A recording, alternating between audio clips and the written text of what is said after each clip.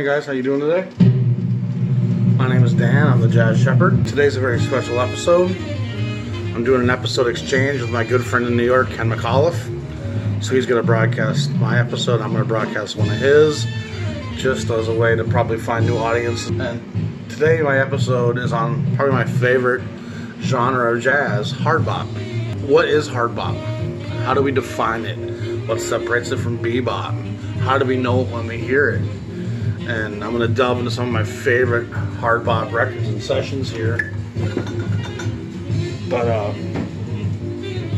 first, I want to talk about the meaning of hard bop a little bit. And bebop, of course, was an abandoning of the chord structure of songs. And even if you were playing a standard song, you wouldn't play the head arrangement, you would just start improvising at 100 miles an hour generally and kind of abandoning a place where the audience could recognize what song you're even playing.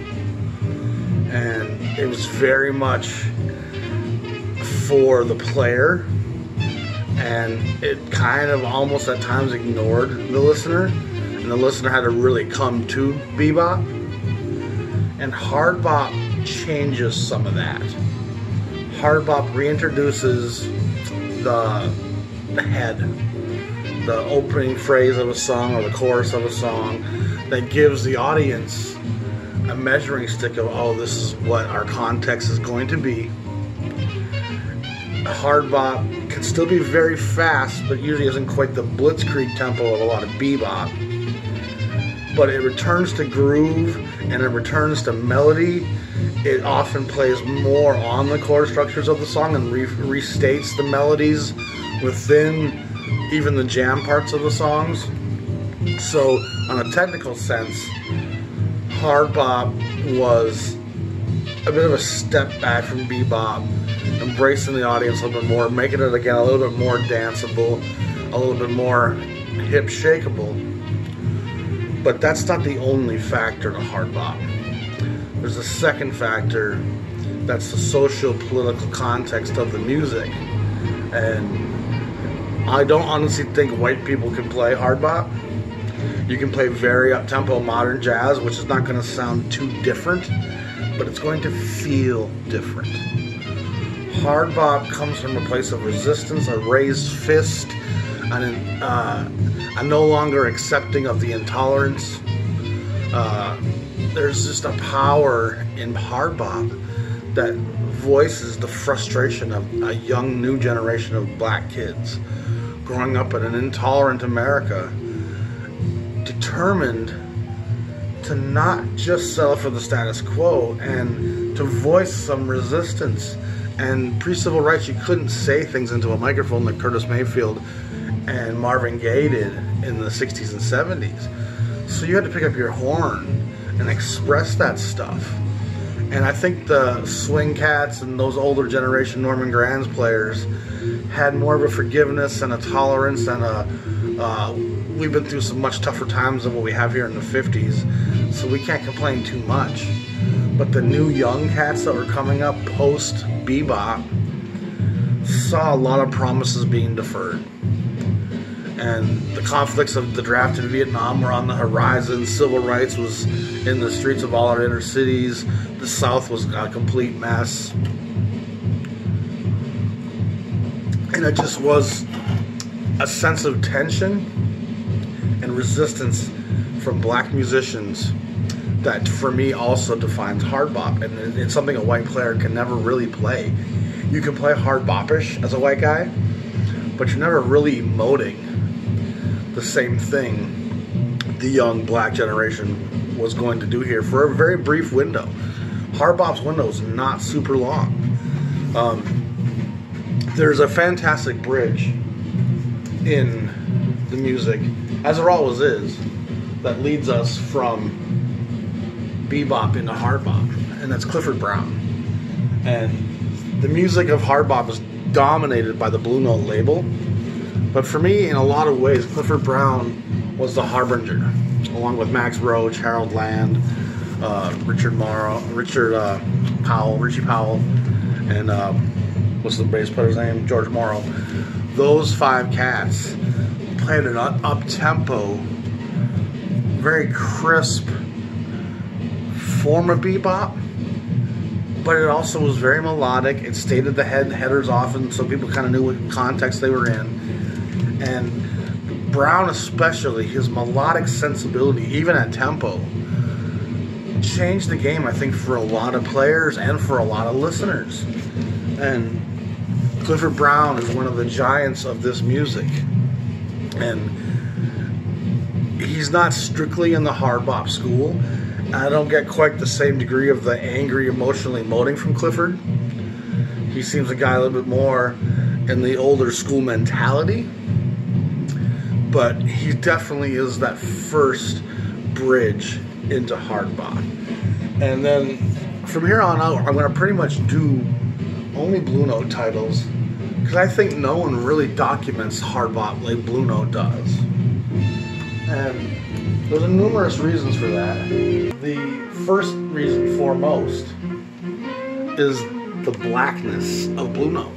And it's a little known fact, I've discussed it many times, but no other label in jazz comes close to the percentage of black artists that were recording in their main sequence. The 1500 series and all the way through 4000, 41, 42, it's almost entirely black musicians. And so there was a stable congregated of the new young talent.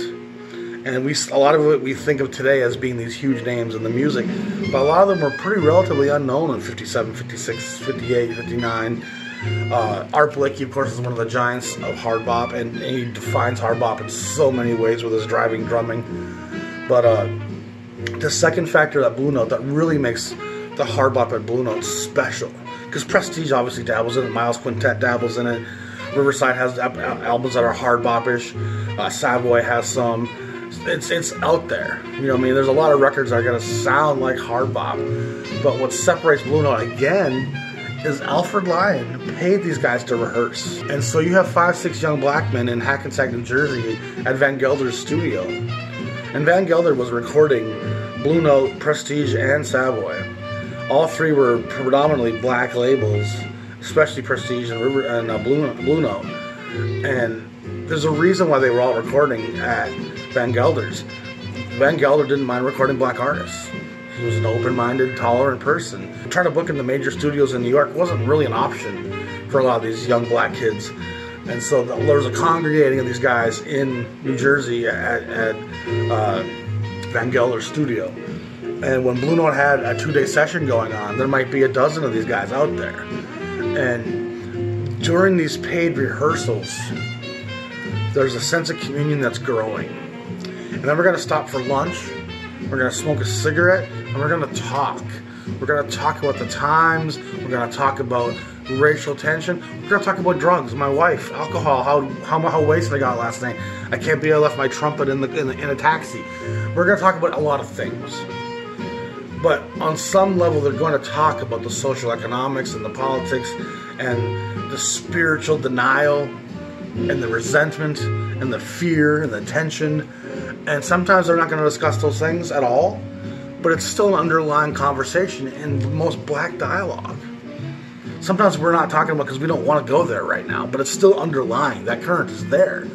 And with all the riots in the streets and the segregation of the South and the forced integration of the schools and the governor Faubus and all the things happening, these guys could not help but talk about the times during rehearsal, during breaks, during lunch, and when they came back and did another session, another set of takes, that communal intercession, that dialogue, is going to impact how they play.